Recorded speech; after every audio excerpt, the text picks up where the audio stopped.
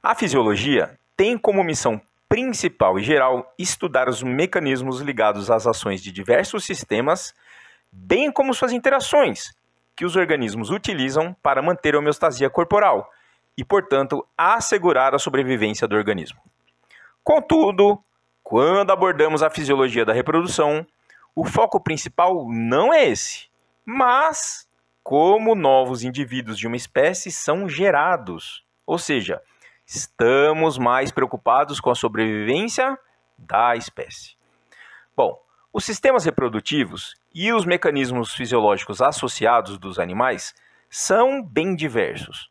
Portanto, nesta série de vídeos, vamos focar na fisiologia da reprodução humana, que, como vamos ver, somos uma exceção no universo desses sistemas de reprodução dos animais. Nessa linha, mesmo a gente sendo mamífero, nossa fisiologia reprodutiva apresenta grandes diferenças. Temos, de fato, similaridades a alguns outros mamíferos, como chimpanzés e gorilas, por exemplo, espécies próximas à nossa. Mas, ainda assim, temos diferença significativa mesmo em relação a eles. Bom, podemos dizer que nosso sistema de reprodução é praticamente único isso significa que temos elementos fisiológicos comportamentais que, em conjunto, nos torna um tipo de exceção no reino animal. Se os mamíferos nos analisassem, diriam certamente que nós, seres humanos, somos bem esquisitos em termos reprodutivos. Bom, primeiramente, em relação às similaridades, podemos dizer que nós nos reproduzimos sexuadamente. Somos também uma espécie de mamífero placentário. Temos um sistema de diferenciação sexual e sistemas hormonais que se assemelham, de modo geral, a de outros mamíferos. Por outro lado, apresentamos ciclo menstrual, algo mais raro entre os mamíferos, que geralmente possuem ciclos estrais. E nós, humanos, e também, por exemplo, em chimpanzés e gorilas, como mencionei, né, como exemplos de espécies próximas, não havendo fecundação do óvulo e uma gestação resultante disso, ocorre o que? A menstruação, que pode ser resumido por hora como a descamação do revestimento uterino, resultando em um fluxo sanguinolento que é expelido pela vagina. Bom, nos mamíferos de ciclo estral, a ovulação é pareada ao estro, né, momento aí conhecido popularmente como CIL, que é o momento onde as fêmeas apresentam alta receptividade sexual e indicações claras por sinais sensoriais e comportamentais de que estão ovulando, de que estão férteis. Quanto à nossa ovulação, embora a gente seja um mamífero com ovulação espontânea, pois há mamíferos que possuem ovulação induzida comportamentalmente, nossa ovulação é discreta, ou seja, as fêmeas humanas dão indícios sensoriais e comportamentais de ovulação que são bem sutis. Bom, nossa atividade sexual não está atrelada apenas à reprodução. Na verdade, gastamos uma boa quantidade de energia com sexo. De certa forma, podemos dizer que nos divertimos fazendo sexo, né? Independentemente de fins reprodutivos. Olha como a natureza foi legal com a gente. Bom, somos também uma espécie com amplo e duradouro cuidado biparental. Talvez a espécie mais extrema nesse comportamento. Esse conjunto de elementos, todos que eu falei aí para vocês, nos torna diferente. Enfim, vamos explorar os princípios gerais de nossa fisiologia reprodutiva, iniciando pela diferenciação sexual, para nos concentrarmos depois nos aspectos funcionais reprodutivos específicos em cada um dos dois sexos.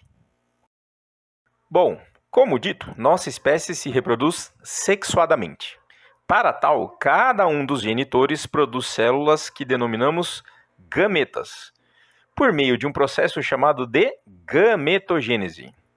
Não é nosso objetivo aqui explicar a gametogênese, mas deixarei um link na descrição deste vídeo como material complementar caso queira se aventurar nos detalhes da gametogênese. Algo aí mais ligado à turma da embriologia e da biologia celular. Muito bem. Os gametas produzidos na gametogênese possuem metade do material genético do respectivo genitor. Em outras palavras, especificamente, podemos dizer o seguinte: os homens produzem os gametas chamados de espermatozoides, enquanto que as mulheres os óvulos.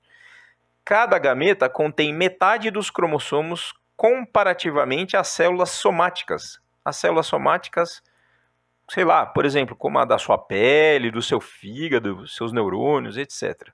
Elas são diploides, que no caso humano significa possuir dois conjuntos de 23 cromossomos, que simbolizamos pela notação 2n igual a 46. Agora, como os gametas possuem apenas um conjunto de 23 cromossomos, os denominamos haploides e usamos a notação n igual a 23. Vale dizer que o número de cromossomos varia de espécie para espécie. Os chimpanzés possuem 48 cromossomos nas células somáticas e 24 nos gametas por exemplo. Bom, como resultado do acasalamento, os gametas podem se fundir e produzir uma nova célula, que chamamos de zigoto. Processo esse chamado de fertilização, ou mais comum no caso humano, né, de concepção. Enfim, o zigoto é diploide e é uma célula com potencial de produzir um indivíduo totalmente novo, com material genético combinado provido aí pelos genitores. Durante a fertilização, os materiais genéticos de um óvulo e de um espermatozoide se combinam, resultando em um zigoto com um total de 46 cromossomos. 44 autossomos mais dois cromossomos sexuais. Os autossomos ocorrem em pares correspondentes e possuem genes que controlam características semelhantes. Essa ocorrência em pares correspondentes, que chamamos, portanto, de cromossomos homólogos, esses pares, é fácil de notar no cariótipo humano acima, para os cromossomos de 1 ao 22. Pode reparar aí nas figuras. Contudo, essa regra não se aplica completamente para os cromossomos sexuais. Enquanto as mulheres herdam dos genitores dois cromossomos X, os homens herdam um cromossomo X e um Y, que, como você pode ver, ele é visivelmente menor do que um cromossomo X. Além de todas as estruturas ligadas à gametogênese, outros componentes se fazem necessários para a reprodução e, portanto, compõem o sistema reprodutor. São essas estruturas aquelas relacionadas ao acasalamento e outras funções diretamente envolvidas na produção de descendentes. Aqui não considera as estruturas e os elementos fisiológicos comportamentais relacionados à atração sexual e à seleção de parceiros, etc., em humanos, né, na nossa espécie. Isso seria mais apropriado de se explicar no contexto evolutivo da seleção sexual. Tá? Bom, muito bem. Voltando aos componentes do sistema reprodutivo, além daquelas porções das gônadas, né, os testículos e os ovários, ligadas à gametogênese, temos as outras porções que formam as gônadas e os aparatos genitais acessórios, tá? Então temos as porções das gônadas associadas à gametogênese, mas temos outras porções das gônadas que fazem outras coisas, além dos aparatos genitais acessórios.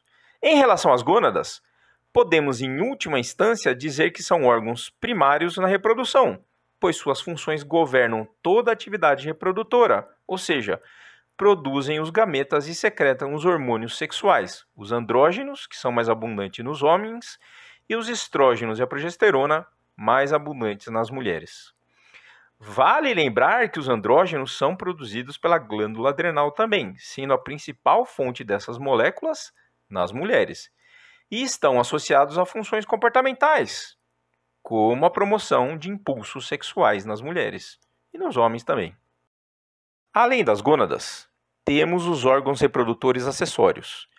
Eles incluem uma série de estruturas especializadas como todas as vias genitais, como as glândulas secretoras de líquidos nessas vias reprodutivas. Portanto, secreções exócrinas associadas a várias funções, além das genitálias externas. Podemos exemplificar mencionando o pênis e o escroto nos homens, tá? bolsa escrotal, bem como a vagina e o útero nas mulheres, além de ductos como a uretra, os ductos deferentes, a tuboterina, etc. No ato de acasalamento, também chamado de cópula, a transferência dos espermatozoides do homem para a mulher. O óvulo, né, geralmente é um só, é, é, mais comum ser um, né, mais difícil ser mais do que um no nosso caso, no caso da nossa espécie. Tá? Então o óvulo, contudo, né, ele permanece no corpo da mulher e pode ser fertilizado pelos espermatozoides que chegam. Há espécies que ambos os genitores liberam os gametas para fora do corpo. Não é o caso da nossa espécie, como dito. Após a fertilização e formação do zigoto, esse passará por incontáveis divisões celulares, formando o embrião e, nesse contínuo, né, posteriormente, o feto. Além desse aumento astronômico no número de células, né, de uma única célula, o zigoto, para bilhões, elas, as células, vão se diferenciar também e começar a formar e organizar tecidos distintos, conforme as instruções codificadas nos seus genes. Um processo ainda bem misterioso de como tudo isso acontece. Enfim, esse período inicial da ontogenia humana, de cerca de nove meses em média, se dá no útero. Portanto, o novo indivíduo é carregado no interior de sua mãe, para garantir proteção em relação ao ambiente externo e devida nutrição. Quando o feto está apto a viver no ambiente externo, ao término deste período de gestação de aproximadamente nove meses, ele se separa do corpo da mãe, que é o processo do parto. Muito bem, é durante esse processo de desenvolvimento inicial, embrionário, fetal, que ocorre a determinação do sexo da prole.